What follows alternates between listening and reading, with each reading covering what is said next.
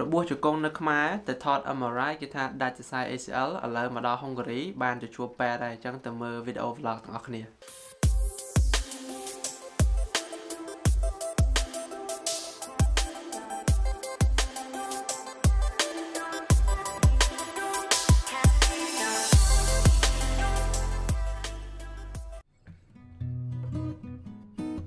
អូខេអញ្ចឹងគ្រូពេទ្យដែលជាមិត្តភ័ក្តិរបស់មិត្តភ័ក្តិខ្ញុំហ្នឹង គាត់ត្រូវទៅធ្វើ operation នៅអាល្លឺម៉ង់ហើយបើយើងចង់ទៅពេទ្យផ្សេងយើងអាចទៅបានណាត់គេបានដែរប៉ុន្តែអឺយើងអត់ចេះភាសាយើងអត់ចេះភាសាហុងការីហើយនៅនេះយើងអត់ដឹងថាទៅណាអីណាអញ្ចឹងអញ្ចឹងនិយាយទៅសម្រាប់សិស្សបរទេសហ្នឹងគេមាន clinic គេមួយហើយមាន GP នៅក្នុង general practitioner នៅក្នុងមកហើយយើងទៅទៅយើងប្រាប់គេថាយើងមានបញ្ហាអីទៅហើយគេអ្នកណាត់ឲ្យគេអ្នកណាត់ដូចថាបើយើងឈឺជង្គង់គេណាត់ទៅជង្គង់បើយើង ឈឺថ្មិញគេណាត់ទៅពេទ្យថ្មិញអញ្ចឹងទៅអញ្ចឹងយើងត្រូវទៅនងសិនបន្ទាប់មកបានទៅពេទ្យជង្គង់ហើយឲ្យគេបណ្ឌិតអីឲ្យម្ដងទៀតបន្ទាប់មកចាំគ្រូពេទ្យនោះមកវះមក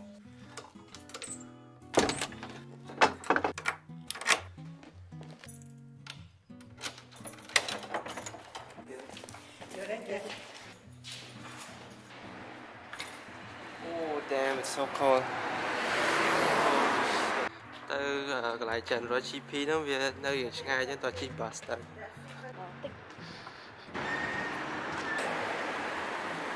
ចង់ជិះ bus ទៅកប់សមុទ្រកាសធាតុថ្ងៃហ្នឹងតិចគ្រាន់បាដូចជា14ដឺក្រេនេះហើយពេលដល់ខែ10ខែ11អីវាធ្លាក់ដល់ like 5ដឺក្រេឬក៏ពេលខ្លះថ្ងៃតិចខ្លះធ្លាក់ដល់0ដឺក្រេឥឡូវដើរទៅ bus stop ដើម្បីជិះ bus តែ2 3គីឡូពីហ្នឹងទៅប៉ុន្តែ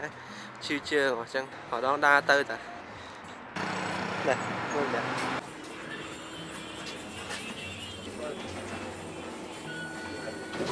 គួយណាតែឥឡូវចុះពីលើបាសហើយប៉ុន្តែក៏ត្រូវដើរប្រហែលជា500ម៉ែត្រអីទៀតបានដល់តែឡែកលក្ខណៈឡើងភ្នំព្រោះទីក្រុងនេះទីក្រុងភ្នំហ៎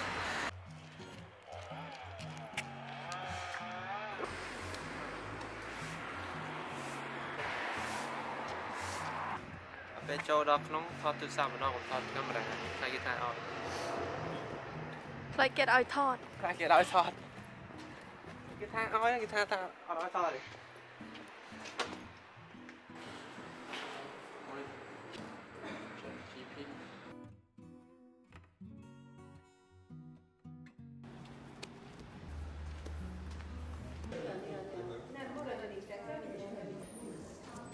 ខេអញ្ចឹងមិញទៅអាកន្លែង general practitioner ហ្នឹងគេថាបើចង់បាន appointment តមួយខែ2ខែអញ្ចឹងក៏គិតថាមកពេទ្យនេះហ្មង emergency room ហើយក៏លោបានជួបពេទ្យមុនអញ្ចឹង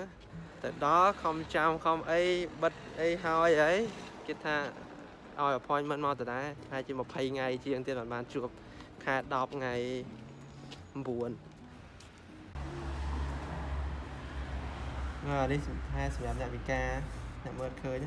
មកប៉ះហ្នឹងគេដឹងថានេះក្លា uh, Faculty of Science Natural Sciences ចឹងមកផែ20ថ្ងៃមុនហ្នឹងមកជួបប៉ែតនៅហ្នឹងហើយគេឲ្យគេណាត់ឲ្យមកជួបប៉ែតថ្ងៃ9ខែ10ឥឡូវទៅចូលជួបប៉ែតមើលគេថាមក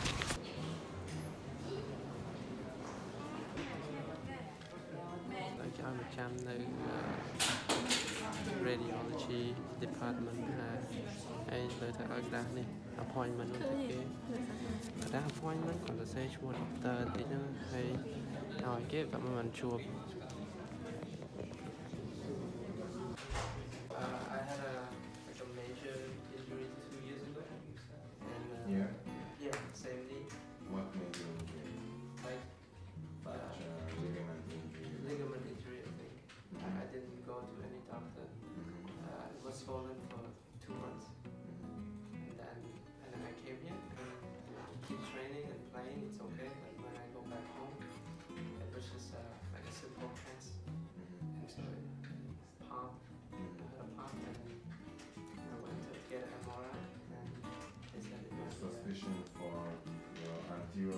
ligament injury.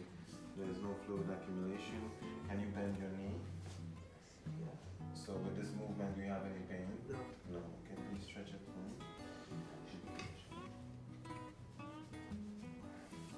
What we see on the MRI is not always what is happening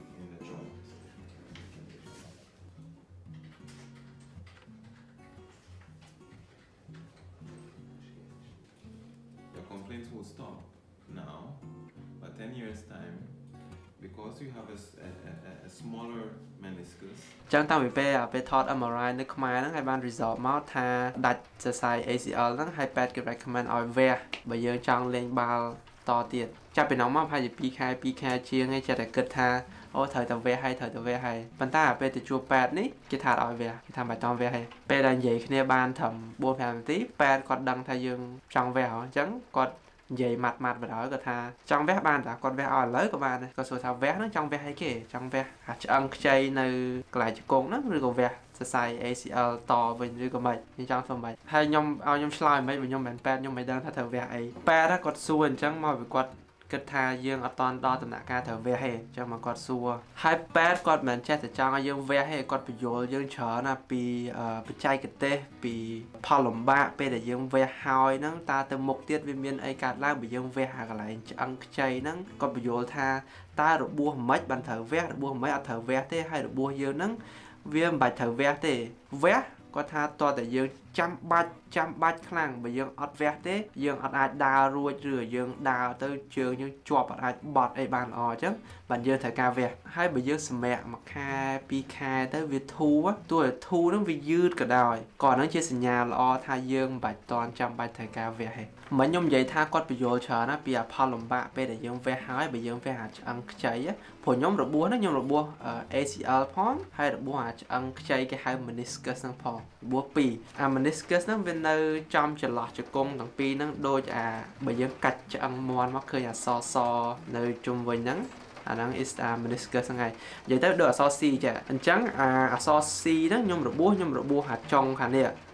មកចុងមកខាងហ្នឹងអញ្ចឹងបើយើងវះយើងត្រូវកាត់អាចុងចោលកាត់ គេកាត់អាចុងចោលដាច់ពិតទៅហើយអាខាងនេះគេកាត់ដែរស្មើគ្នាហើយគេសេរីចូលសេរីរ៉ាធ្វើមកឲ្យខ្លីពេលអញ្ចឹងទៅយើងលែងឈឺហើយជើងយើងអាចបត់អីធម្មតាប៉ុន្តែគាត់និយាយថាពេលដែល10ឆ្នាំទៀតទៅអា meniscus ហ្នឹងយើងមានតិចហើយវាអាចធ្វើឲ្យស្លាកឆ្អឹងស្លាកអីឆាប់ស្លាកឆ្អឹងណាឥឡូវនិយាយពីអារបួស ACL ហ្នឹងវិញពេលដែលថត MRI ACL វាសរសៃសរសៃជង្គង់នៅខាងក្នុងវាមាន2ចាហើយវាកោង ខ្វែងគ្នាចាមួយមួយសរសៃមួយហ្នឹងគេហៅ ACL ពេលដែលយើងថត MRI ហ្នឹងឃើញតែសរសៃមួយបាត់សរសៃអស់មួយប៉ែតគេថាអញ្ចឹងអញ្ចឹងមានន័យថាអាចសរសៃហ្នឹងវាដាច់អាសរសៃ ACL ហ្នឹងវាដាច់បាត់ឬក៏សរសៃហ្នឹងវាបាំងអីមិនឬក៏វារបួសខ្លាំងអីចឹងទៅយើងមើលអត់ឃើញណាគេក៏សន្និដ្ឋានថា suspected ថាដាច់អញ្ចឹងប៉ែតគាត់និយាយថា